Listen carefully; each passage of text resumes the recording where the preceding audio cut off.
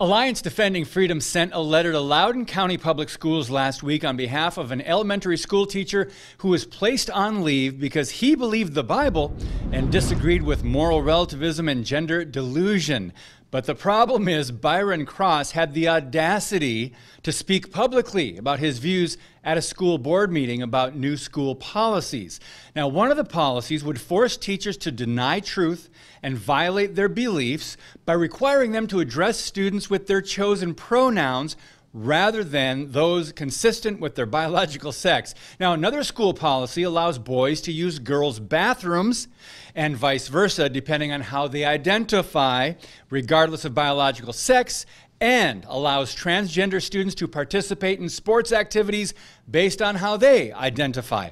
But the plot thickens. A Christian pastor is now under attack for saying the Democrats on the school board are perpetuating the lie about gender confusion. Let the fireworks commence. I'm David Fiorazo, and this is Christ and Culture.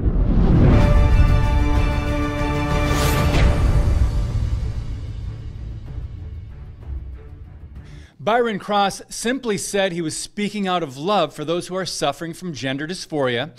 And he mentioned the 60 Minutes program last week that actually interviewed over 30 young people who are now de transitioning.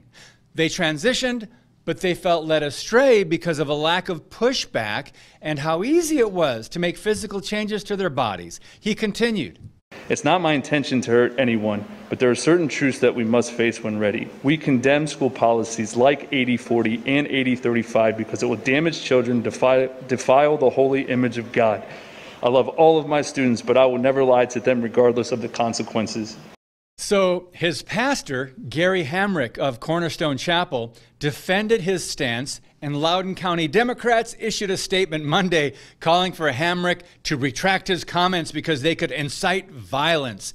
They accuse him of making insidious and inflammatory comments. Wow, sounds pretty serious.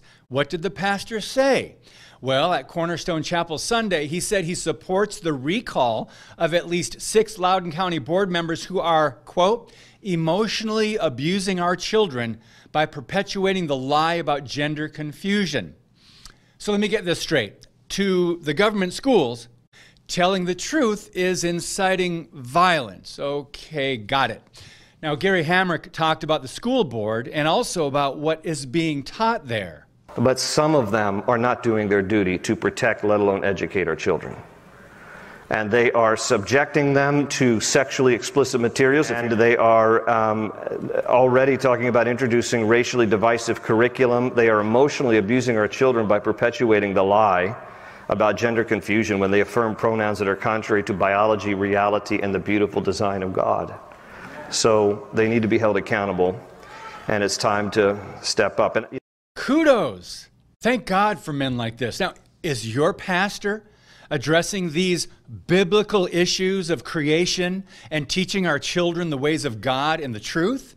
He is 100% right. It's time to step up. It's not just a pastor's job or a Sunday school teacher's job, it's ours. Naturally, the school board is demanding that the pastor recant his inflammatory statements calls them unfounded, and claims that they hurt the community and have dangerous ramifications.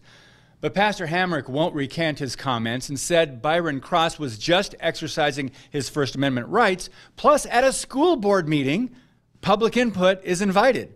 Now, apparently, thousands of parents in Loudoun County have been outraged prior to this and are fighting to recall the Loudoun County School Board, which Gary Hamrick alluded to. Now, they're upset, parents are, over things like raunchy reading material for children and the indoctrination of critical race theory.